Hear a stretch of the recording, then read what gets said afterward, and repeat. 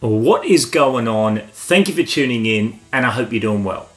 Now, we're back in the cave for another episode of Crusher's 5 Minute Finds, and today we're talking about a truly iconic vintage action figure line, but one that I've not spoken about at all on this channel before, and that's Kenner's Superpowers.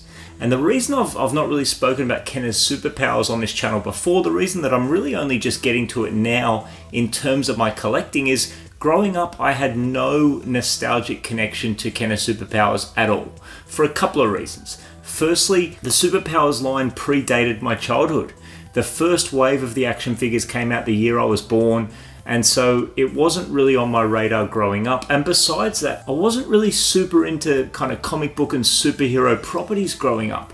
I really do feel like for me, wrestling kind of filled that, that space in my childhood. The characters, the legends of the WWF in the late 80s and early 90s, the Hulk Hogan's, the Ultimate Warriors, they were absolutely real life superheroes to me growing up. And the Ric Flairs and the Bobby Heenans and the Million Dollar Man Ted DiBiase's, they were they were kind of my the, the super villains of my childhood. But with that said, I was definitely exposed to the characters of the DC universe growing up, specifically the Batman universe, because I remember watching the 1966 Batman film you know, when I was about five or six years old, I, really enjoyed the 1989 Keaton Batman film, and since then, I've always kind of lent more towards DC than Marvel when I am consuming comic book franchises. And then in terms of how I got kicked off in collecting Kenner Superpowers figures, considering I didn't grow up with them, I was generously gifted this awesome Flash figure by the legends from the YouTube channel Keep On Collecting around Christmas time, and that kind of set me off on the hunt for them.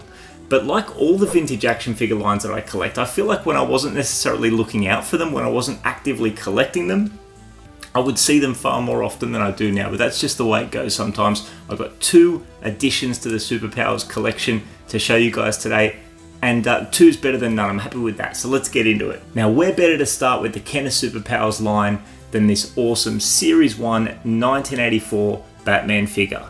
A figure that, at least as far as I'm aware, is complete with his original cape, at least that was kind of how I how I ordered him on eBay. That was that was the terms of the listing. Uh, but again, far from an expert on the Kenner Superpowers line. So if anyone can correct me there, I certainly welcome that. Anyone who can share any advice or knowledge in the comments, I'm certainly all ears. But just before picking up this figure, uh, I saw the most recent Batman film, The Batman, in the cinema, and that kind of inspired me in my search to track this guy down. But in stark contrast to the latest Batman film, what I like most about this Batman figure and the superpowers line in general is we've got the classic golden age depiction of these characters. Because even though I did watch the 1966 film growing up, I more so grew up on the 89 Keaton Batman and, and all the Batman films that came after. They kind of normalized to me the depiction of Batman in all black. Whereas, as far as I've, I've now come to learn, up until 1989, this is more of a prototypical depiction of how Batman looked. He wasn't in all black,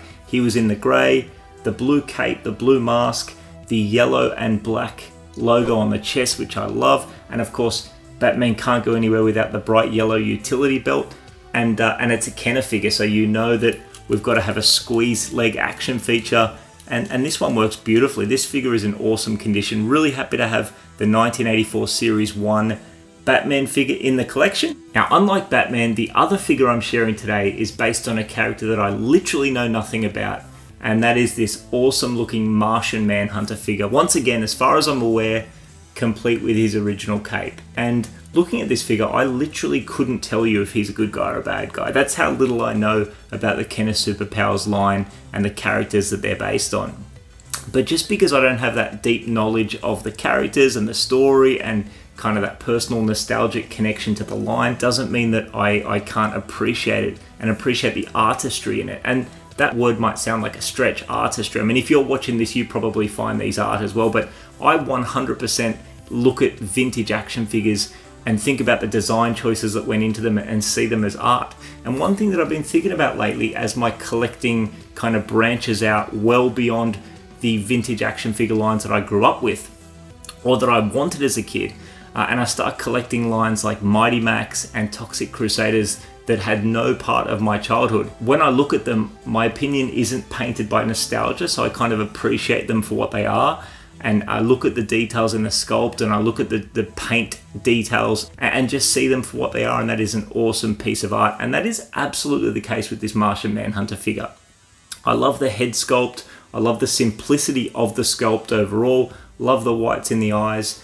Uh, and, and one thing that I just really love about the Kenner Superpowers line is the color. When you look at a figure like this, and when you look at the Kenner Superpowers line in general, it's lots of primary colors and a few secondary colors and like block colors. So it's lots, lots of blocks of green and blue and red and yellow and orange.